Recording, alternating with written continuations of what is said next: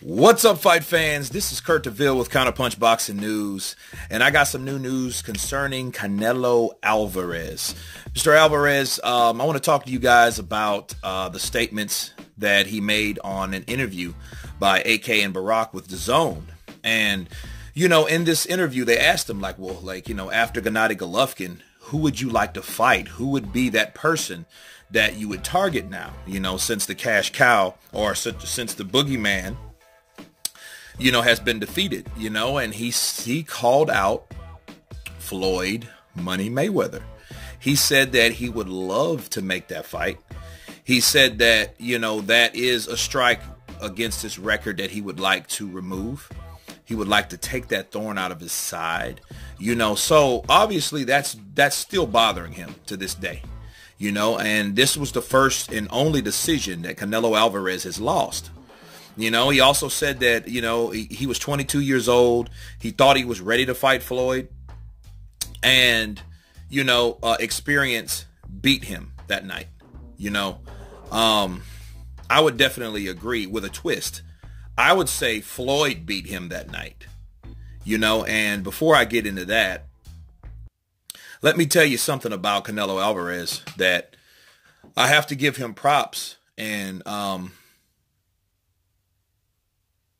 and just let everyone know that Canelo Alvarez is that's a smart move he's doing going to 168 because see he's going after Rocky Fielding's belt, you know, the WBA belt, you know, and he's the new crown king at 168. You know, he's not the most dangerous. No, he's not. You know what I mean? But that would be stupid to put him in with someone like Ramirez right now. You know what I mean? So he's taking on Rocky Fielding and getting that belt right? He hasn't vacated the belts of the WBC and the WBA, right? Back in um, 160. So he has two different, if he beats Fielding, he would have two, he would be champion in two different weight classes, right? That only raises your profile. Mind you, Derevyanchenko and Jacobs fighting for the IBF belt, okay? That the one that was stripped from Golovkin, waiting on Canelo, right? So then uh, you know, of course, Danny Jacobs, he fights on DAZN. He's with Matchroom. So they're fighting on the same platform. How hard you think these fights would, would it would take to get made? There's no network problem. It's a it would be a promotional thing at that point, but they're fighting on the same platform. You know what I mean? So a unification in the middleweight division would be that much sweeter. And if and only if Canelo can get past Jacobs, um, I believe that would put him over the top. The only belt would be left is the WBO, you know, that was recently vacated from Billy Joe Saunders. Okay, so, you know, after Jacobs, then he gets the WBO. He would be the undisputed middleweight champion of the world. On top of being the WBA 168 pound middleweight champion of the world. On top of signing the biggest deal in boxing history. That's big. No one can say that. You know, you can be an eight division world champion like Manny Pacquiao. You can uh, make the most money you've ever made in one night, which is Floyd Mayweather. But then you can be that person that signed the biggest deal in boxing, which is Canelo Alvarez. So yeah, from one, two to the three, you know, he can have his own legacy and sign his own deal with that is with signing something where that hasn't been done before and probably never will be done again. You know what I mean? And and that's coming from a pay-per-view platform, right? So he's the last of his kind. He's the last of his kind to even have these type of opportunities. You know what I mean? And you have to take your hat off to Oscar De La Hoya though.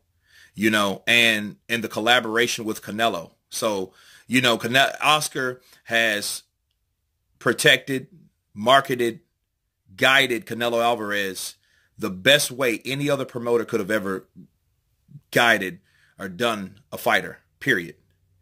You know what I mean? The because here's the deal. It goes back to Canelo, though. Yeah, I got to take my hat off to Canelo because Canelo is one loyal guy. You can say what you can about him being swanky or whatever, but he is loyal. And he showed his loyalty with his team. He's been with the Reynoso since day one. Okay? He been with Oscar De La Hoya when he when Oscar De La Hoya was going through all the stuff that he was going through with rehab and other inner demons. He stuck with Oscar De La Hoya. He stuck with the Reynosos after the loss, the first loss of his career. You know what I mean? Normal fighters would think they would have to change trainers to get an edge psychologically or or it's the trainer's fault. No, he, he you know, he blamed himself for that. Experience beat him. Now, um that's what he stated. Experience beat him. Um the experience that he was referring to is a boxer, Floyd. Floyd beat him. You know, any boxer will give Canelo problems. Any boxer. You know what I mean? It, especially one with a high boxing IQ. Remember Erislandy Lara? He gave him problems too. A lot of people thought he lost that fight. You know what I mean? It, it's just the style of that fighter will give uh, Canelo problems because Canelo is not that guy like Angulo or uh, um, Julio Cesar Chavez or any any Mexican fighter that likes to brawl. He's not that kind of dude. He's not good at cutting off the ring. He doesn't do that. He waits for you to come in. You know, he takes a little bit of this, a little bit of that, and he and he makes his own fighting style. He's like the Jeet Kune Do of boxing. That's him, you know. I, well, the Wing Chun of boxing would go to, to Loma, but if you had to take a person that took and, and absorbed many different things from different fighters, that's Canelo Alvarez. You know, um, now, speaking of a Mayweather and Canelo too, that fight would be good. It would be good um, business wise. You know, it would do very well. But, you know, um, stylistically now, you know, Floyd is 41 years old. You know, I mean, how good would he do with Canelo Alvarez right now? You know what I'm saying? Honestly, how good would he do? You know what I mean? How good would he do with um, Canelo now. You know, you know what? I mean, here's the thing. I wouldn't want to fight. You know, I wouldn't want anyone to fight not in their prime like that and get beat up with someone that's clearly in their prime. You know, I think the time has I don't know. I don't want to underestimate Floyd because Floyd is one of those type of dudes that he's just going to be difficult to beat. But then how how much is his skills diminished? You know, we seen him in the McGregor fight, but that really wasn't a real fight. You know, and he fought McGregor a certain way because he knew McGregor couldn't spin off the pivot. You know what I mean? Didn't have the the knowledge to punch on the sides of the glove. You know what I mean? Just basic fundamentals that other fighters could do. You know, other than Floyd. I mean, other than uh, McGregor. So we really don't know how he would look in a true boxing match on an elite level. It would answer questions. If he did take on Canelo Alvarez, that would show balls. It would show boldness. It would show uh, everything I said about him from picking fights and picking guys and are inviting the younger guys, which I feel he did. That would take away all that because Canelo Alvarez is one of the best fighters. You know what I mean? He has a be- beautiful fighting style. You know what I mean? And if he took him on now at 28 and he's 41, you know what I mean? Dude, that would be, I, I couldn't say anything. You know what I mean? I, I, would just have to respect it. If he won or if he lost, I would have to respect it because then he's fighting someone on the elite level. You know what I mean? That, that's big. That's massive. You know, but will Floyd do that? You know what I mean? Floyd has his own talks with Manny Pacquiao. You know, if Manny can't get past Broner, which I think Manny can, um, you know, then he'll fight Broner. So he has his own thing going on the Haymon side of, of, of, of that side of the street, right? But Canelo is a big thing. Canelo is that guy that if you gave him the fountain of youth and he could live forever, he could still spend a million dollars a year for the next 365 years. You know what I'm saying? That's big. That's massive. You know, and his family set, everyone's set. You know, um, but I like the way that they're marketing Canelo now, and I like the approach. Go to 168, have that belt, have another option. You know what I mean? Just in case, you know, um, Jacobs beats Derevyanchenko and calls out Canelo for a fight. They're both on, on DAZN app. You know what I mean? You know, then Canelo, well, if he's not ready for that fight, he could fight someone at 168. Even though I would like to see him fight someone like Uzcategui. I would love to see that fight between him and Canelo. You know, because that would be a war. That would be someone coming right at him like a bigger, stronger, powerful Angulo. You know what I mean? But just bigger and taller. You know, I would love to see that fight. I would love to see that fight. You know, and, and if he gives us those type of fights, fighting someone like already Rocky Fielding is a tall guy with six two, six three. You know, that guy's big. He's massive. And it is a rematch clause, like a dehydration clause in it, which is which was smart. But you know, um, I think he would be the easier of the champions. You know, but why not? He just got out of a tough fight with Golovkin.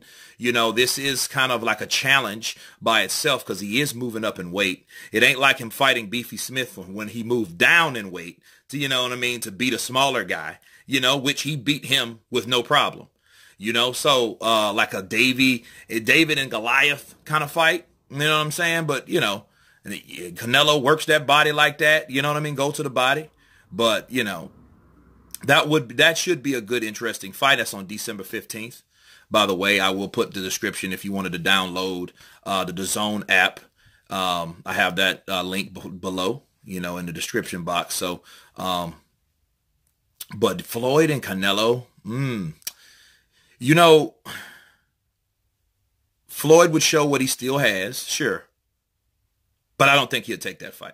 You know what I mean? I think he's wise enough not to at this year. And, you know, and I, I couldn't blame him right now because he's 41. You know what I'm saying? I mean, I know Hopkins fought to damn near 50. He fought to 50 years old and was still beating guys at like 47, 48. I understand that. And I, you know, he could challenge himself from fighter to fighter like, you know, uh, that would be a good thing. You know, Bernard could lure lure uh, Mayweather out and say, "Hey, Mayweather, I was fighting top guys when I was 48 years old. You're 41. I did that when I was 41."